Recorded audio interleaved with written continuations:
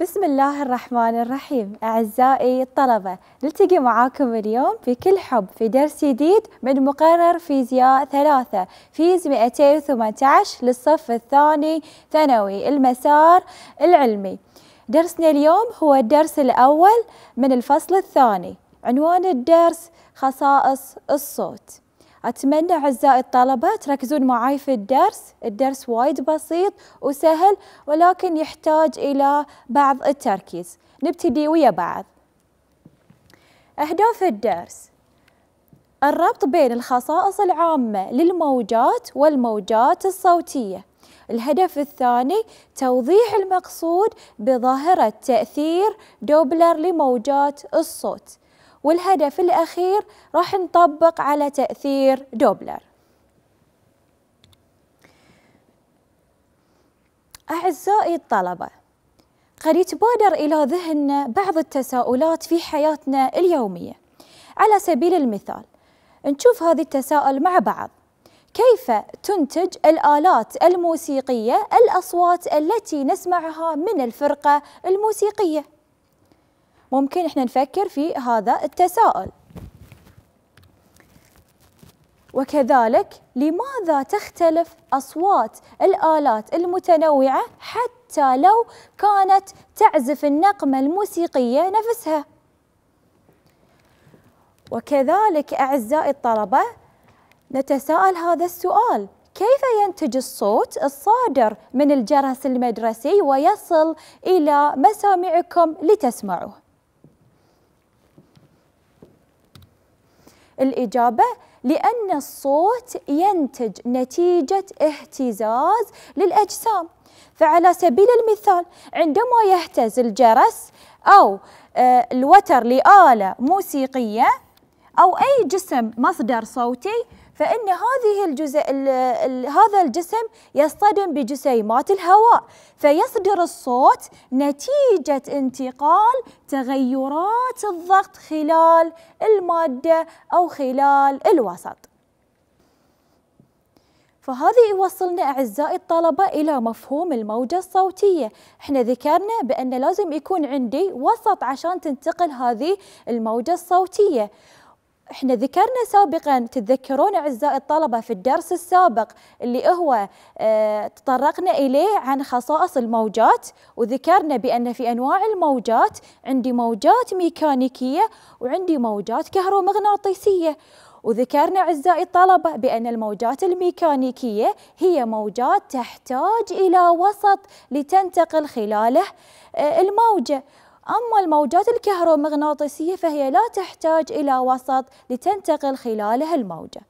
فإذا الموجة الصوتية هي موجة ميكانيكية ونوعها هي موجة طولية. وبما أن هي موجة طولية فهي تتكون من تضاقطات نلاحظ مع بعض أعزائي الطلبة في هذه الشكل الموضح اللي أمامكم عندي تضاقطات وعندي تخلخلات.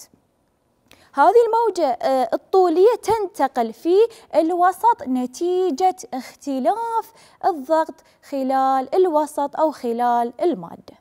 واضح أعزائي الطلبة هذه مفهوم الموجة الصوتية. نربط مع نفس ما قلت لكم اللي هو الدرس اللي خذيناه سابقا واستعرضنا أنواع الموجات. قلنا أن عندنا في الموجات الميكانيكية هناك موجات مستعرضة وهناك موجات طولية وهناك موجات سطحية. في درسنا اليوم إحنا نركز على الموجات الطولية والموجات الصوت اللي هي وليش قلنا إحنا موجات طولية عزيزي الطالب؟ لأنها تهتز في آه تهتز الموجات في اتجاه اللي هو موازي لاتجاه انتشار الموجة اللي هو جزيئات الوسط. تكون في اتجاه موازي لاتجاه انتشار الموجة. هذه طبعا تم عرضه في دروس سابقة بس إحنا نريد أن نربط المفاهيم مع بعضها البعض. عزيزي الطالب عزيزتي الطالبة علل لما يأتي. لماذا لا ينتقل الصوت في الفراغ؟ تساؤل لماذا أنا لما يكون عندي اللي هو غرفة مفرغة من الهواء وبعث موجة صوتية لا نسمع هذه الصوت. لماذا؟ لعدم وجود جزيئات تتصادم وتنقل الموجة. لأن إحنا ذكرنا أعزائي الطلبة بأن الموجة الصوتية تحتاج إلى وسط لتنتقل من خلاله الموجة. ننتقل الآن إلى خصائص هذه الموجة الموجة الصوتية. إحنا ذكرنا سابقا وأخذنا سابقا كذلك أعزائي الطلبة من خصائص الموجات سرعة الموجة والطول الموجي والتردد وسعة الموجة كل هذه الصفات وخصائص الموجة. راح نتطرق اليوم إلى سرعة الصوت في الوسط. على ماذا تعتمد أعزائي الطلبة سرعة الصوت في الوسط؟ طبعا السرعة نرمز لها بالرمز v. تعتمد عزيزي الطالب على درجة الحرارة. شلون تعتمد على درجة الحرارة بحيث إن كل ما تزيد السرعة في الهواء أو في الوسط اللي عندي بزيادة درجة الحرارة عندي بمقدار 0.6 متر لكل ثانية لكل درجة سيليزية واحدة. فإذا نستنتج من هذا عزيزي الطالب بأن سرعة الصوت في المادة الصلبة تكون أكبر منها في السوائل وأكبر منها في الغازات. لاحظ عزيزي الطالب عندي هذه المعادلة أو هذه القانون. متى أستخدم هذه المعادلة؟ أستخدمها لحساب سرعة الصوت في الهواء.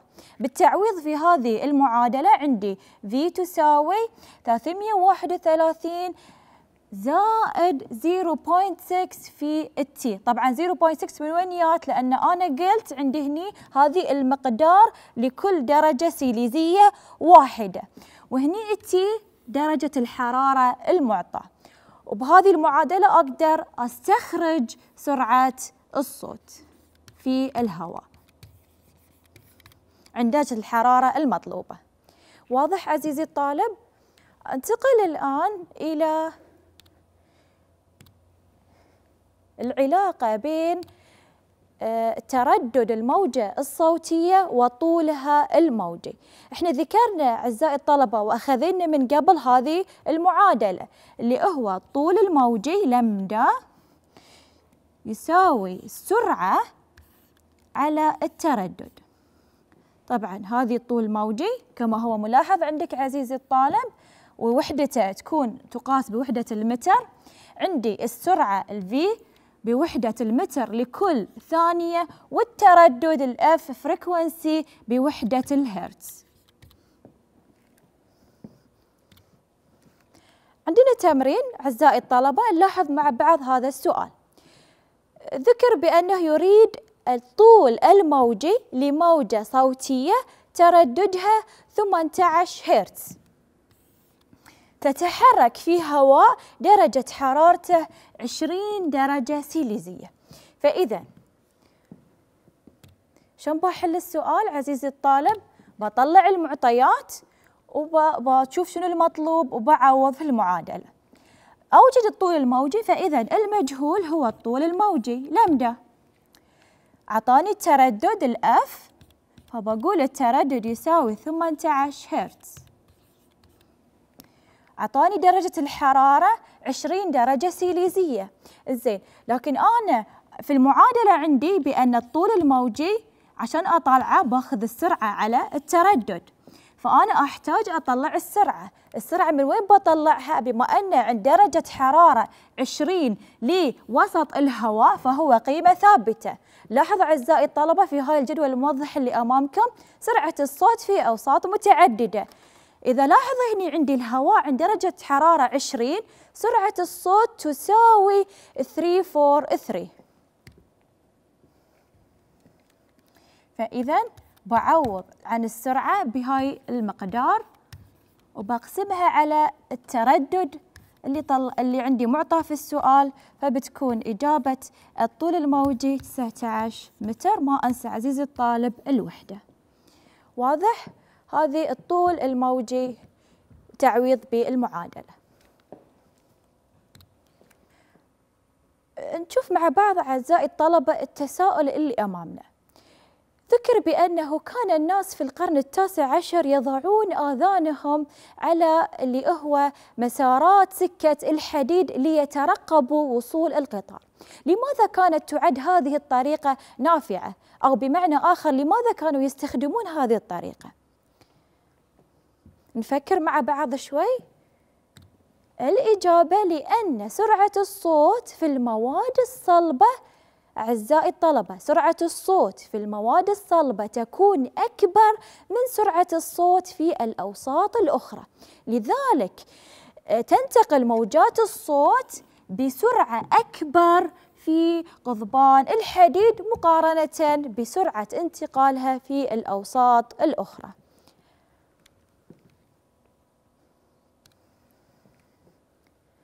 ننتقل الآن أعزائي الطلبة إلى جزئية مهمة في الدرس وهي ظاهرة أو تأثير دوبلر وهي ظاهرة فيزيائية آه، استنتجها العالم الفيزيائي دوبلر. نلاحظ هذا التساؤل. ماذا يحدث أعزائي الطلبة إذا تحرك مصدر صوتي في اتجاهكم؟ أو تحركتوا أنتوا في اتجاه مصدر صوت؟ فإذا أنا عندي مصدر صوت وعندي اللي هو مستمع أو مراقب لهذا الصوت. ماذا يحدث في حالة اللي هو التصور اللي أمامنا؟ نلاحظ بأن إذا كان مصدر الصوت أو المستمع اللي هو المراقب متحرك فسيتغير تردد الصوت الذي يسمعه المراقب. شلون؟ عندما يقترب مصدر الصوت من المراقب لاحظ مع بعض هذه اللي هو الشكل التوضيحي اللي أمامك عزيزي الطالب. هذه مصدر الصوت سيارة الإسعاف. فهذه مصدر الصوت. وعندي هني أنا كشخص مراقب لهذا المصدر أو مستمع. ماذا يحدث إذا أنا كمراقب لهذا المصدر الصوت كنت قاعد أقترب من هذا المصدر؟ فإن شو نلاحظ أعزائي الطلبة الموجات إيش فيها؟ تتقارب في هذه المنطقة. فإذا إيش راح يصير في الطول في التردد؟ بيكون هني تردد عالي جدا. في المقابل الطول الموجي سوف يقل. لماذا سوف يقل الطول الموجي؟ بكل بساطة لأن العلاقة عكسية بين الطول الموجي وبين التردد. ماذا يعني علاقة عكسية؟ يعني إذا زادت كمية تقل الكمية الأخرى. واضح عزيزي الطالب في هذه الشكل اللي أمامك. وهني في اللي هو العكس إذا كان أنا قاعد أبتعد عن المصدر فيكون التردد منخفض فيزيد الطول الموجي. فإذا ما هو تعريف دوبلر أو تعريف ظاهرة دوبلر للصوت؟ هو تغير التردد الناتج عن حركة مصدر الصوت أو المراقب أو كلاهما. كما هو بعد كذلك موضح في الشكل اللي أمامك. عندي هنا مصدر الصوت للسيارة والمراقب اللي هو الشخص اللي قاعد يسمع الصوت. وأنا كل ما أقترب بيكون عندي تردد عالي طول موجي أقل وكل ما أبتعد التردد ينخفض والطول الموجي يكون أكبر. أعزائي الطلبة انتقل الآن إلى القانون المستخدم لتطبيق تأثير دوبلر للصوت. نلاحظ مع بعض أعزائي الطلبة هذه القانون. يقول لي FD تساوي FS مضروبا في V minus VD على V minus VS بنستخرج كل اللي هو آه كمية في القانون وبنعرف شنو معناته. لاحظ عزيزي الطالب بأن FD هو التردد الذي يدركه المراقب. فإذا هو تردد للمراقب. FD FS S هي ال source فإذا هو التردد للمصدر. مصدر الصوت.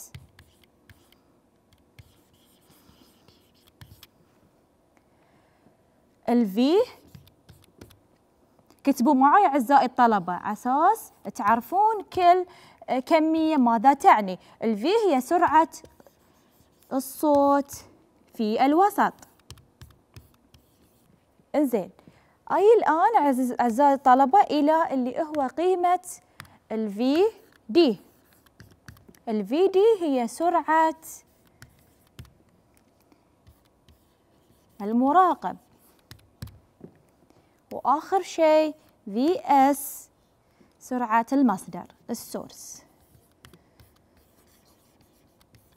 مصدر الصوت. طبعا أقول مصدر فهو مصدر الصوت. إنزين أعزائي الطلبة لاحظنا مع بعض اللي هو آه، الكميات اللي أمامنا في القانون لتأثير دوبلر. في حالات عندي لهذه القانون أو هذه الظاهرة. مثلا إذا عطاني في التساؤل أو في السؤال اللي أمامك عزيزي الطالب بأن ال VD وإحنا قلنا إن ال VD هي شنو؟ ترى سرعة المراقب إذا قال بأن المراقب في حالة يكون ثابت أو ساكن فبعوض عن السرعة بالمقدار صفر فإذا إذا بعوض عنها بمقدار صفر شلون بتصير المعادلة؟ لاحظ عزيزي الطالب FD تساوي FS مضروبة في ال V على V minus VS فعبارة ال VD بتروح عندي من المسألة حالة أخرى كذلك عندي عزيزي الطالب إذا كان ال VS وإحنا قلنا بأن ال VS هي سرعة المصدر. إذا قال لي في في السؤال أو في التمرين بأن المصدر ثابت أو لا يتحرك أو ساكن كذلك بعوض بالسرعة المتجهة بقيمة الصفر.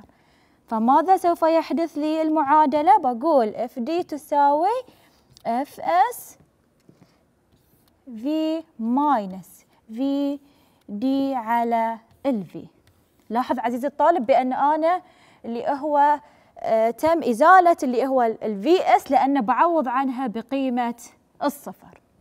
واضح أعزائي الطلبة؟ هذه بعض الحالات وجب التركيز عليها والتنبيه. نلاحظ مع بعضنا بنطبق الحين أعزائي الطلبة التمرين. ركز معي عزيزي الطالب. عندك ورقة وقلم والآلة الحاسبة وحل معاي السؤال. يقول السؤال أطلقت صفارة إنذار ترددها 975 هرتز في محطة إطفاء حريق. فإذا كنت تقود سيارتك مبتعدا عن المحطة بسرعة 6 متر لكل ثانية فما تردد الموجات الصوتية التي تسمعها؟ علما بأن سرعة الصوت في الهواء تساوي 343 متر لكل ثانية. نلاحظ مع بعض ذكر لي في السؤال عزيزي الطالب بأن صفارة الإنذار هي مصدر الصوت وهذا المصدر هو مصدر ثابت. فأنا دايركت بعرف بأن سرعة المصدر Fs تساوي صفر. لاحظ عزيزي الطالب مهم اللي هو أعرف أن السرعة هني ساوت صفر. بستخدم اللي هو القانون FD تساوي FS V minus VD على V minus VS بعوض ذكر بأن اللي هو عطاني تردد للمحطة. كم كان التردد أعزائي الطلبة؟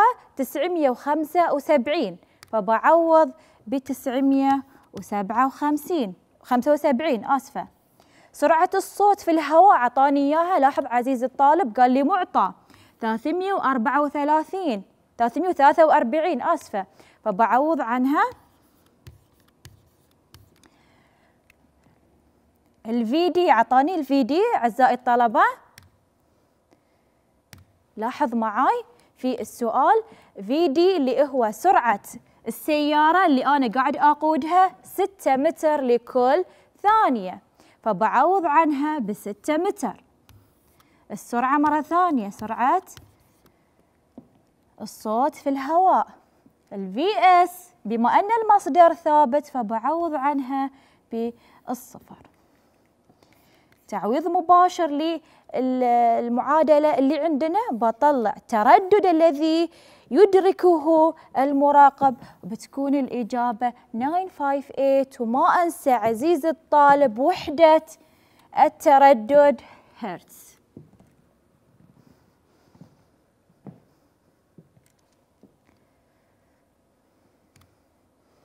انتقل الآن أعزائي الطلبة إلى تمرين آخر. يركب شخص سيارة تسير في اتجاهك وينفخ في بوق منتجا. صوت ترددها تردده 524 هرتز.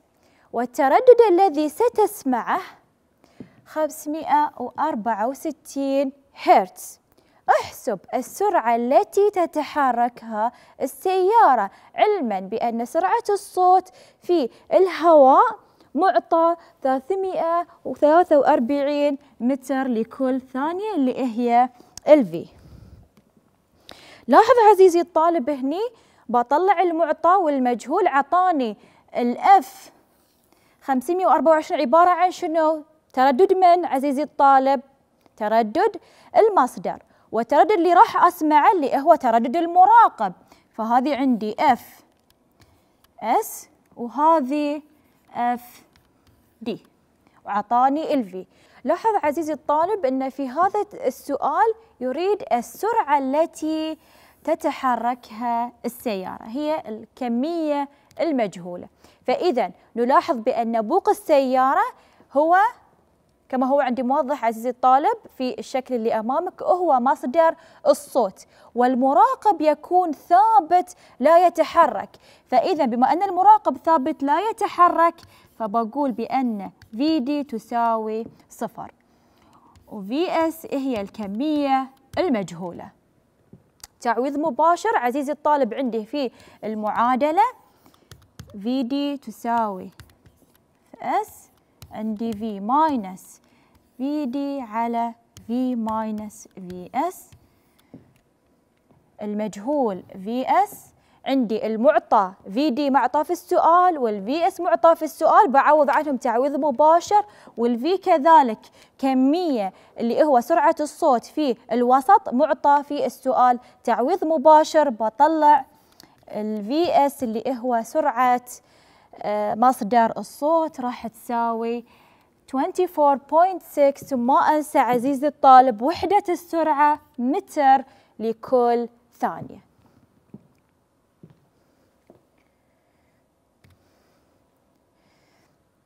ننتقل الآن إلى آخر جزئية في درسنا اليوم وهو تطبيقات لتأثير دوبلر في حياتنا. وين نحصل أو وين نشوف اللي هو آه، تطبيقات لتأثير دوبلر. نراه في كواشف اللي هو الرادار لقياس سرعة المركبات وكذلك في الطب لقياس سرعة حركة جدار قلب الجنين بجهاز الموجات الفوق صوتية اللي هو ال ultrasound عزيزي الطالب عزيزتي الطالبة أمامك اللي هو ال QR code ممكن تمسحه بهاتفك النقال وتقيم نفسك اللي هو تقييم ذاتي لفهمك لدرس اليوم.